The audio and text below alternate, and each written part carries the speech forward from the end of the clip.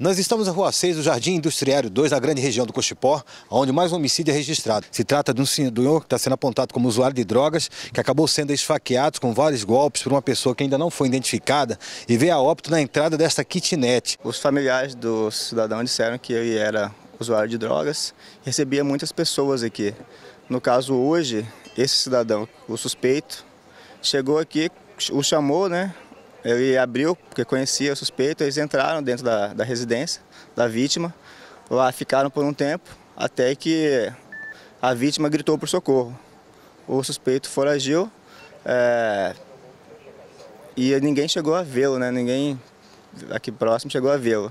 Mas lá dentro da residência tem sinal de luta, né? Então o suspeito o agrediu lá dentro da sua própria residência. Esperto, é, pode dispensar a motivação de ser um acerto de contas? É difícil saber, né? Porque nenhum, nenhum familiar aqui chegou a ver o, o, suspeito, ninguém sabe se ele teria alguma dívida. Nós checamos ele e ele tem passagens por 155, 180 e artigo 33.